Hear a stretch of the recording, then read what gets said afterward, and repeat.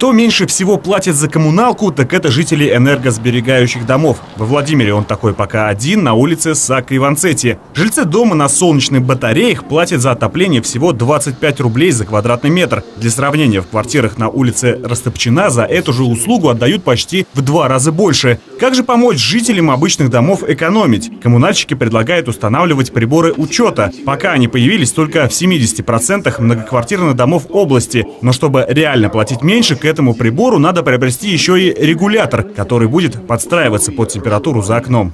Регулирует объем поступления тепловой энергии в зависимости от температуры наружного воздуха.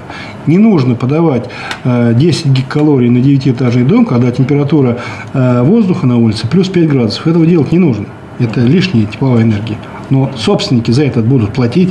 Прибор учета на дом обойдется жильцам в 250 тысяч рублей. К нему еще и регулятор за 100 тысяч. Такая экономия, возможно, не всем придется по карману. Разработчики новых энергосберегающих материалов предлагают другой вариант. Фасадная краска на основе керамической микросферы с нулевой теплоотдачей. Строители уверяют, это хороший аналог невзрачным поролоновым швам по сравнению с традиционными утеплениями, я вот во Владимире тоже видел э, дома, которые межпанельные швы замазаны пенополиуретаном. В результате, казалось бы, не такие старые э, дома, довольно-таки красиво выглядят, как облезлая собака.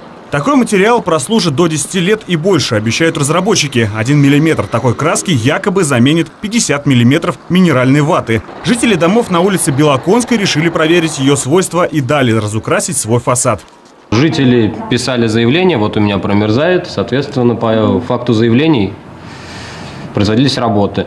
600 рублей за квадратный метр по области – это средняя цена утепления многоквартирного дома. Но коммунальщики предлагают и бесплатный вариант – не оставлять зимой открытой в подъезде дверь и не проветривать лестничную клетку. Павел Кузнецов, Татьяна Данилова, Илья Фомин. Владимир сегодня.